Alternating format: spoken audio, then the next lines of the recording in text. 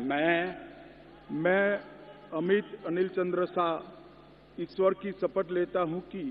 मैं विधि द्वारा स्थापित भारत के संविधान के प्रति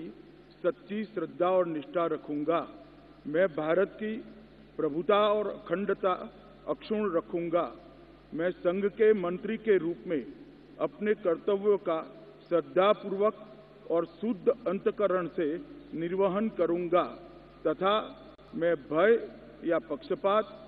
अनुराग या द्वेष के बिना सभी प्रकार के लोगों के प्रति संविधान और विधि के अनुसार न्याय करूँगा।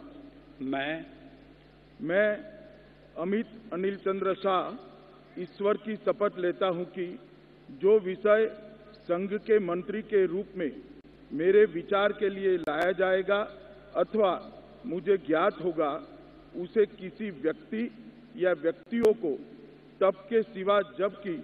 ऐसे मंत्री के रूप में अपने कर्तव्यों के सम्यक निर्वहन के लिए ऐसा करना अपेक्षित हो, मैं प्रत्यक्ष अथवा अप्रत्यक्ष रूप से संसूचित या प्रकट नहीं करूँगा।